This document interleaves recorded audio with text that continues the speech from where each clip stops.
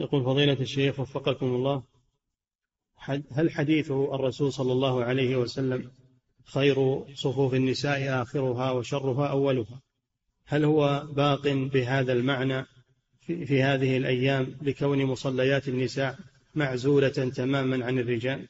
العلة التي من أجلها جعل صفوف النساء آخرها لأنها أبعد عن الفتنة.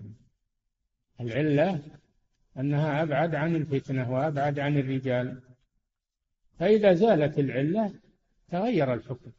فإذا وجد ساتر بين الرجال والنساء فخير صفوف النساء أولها.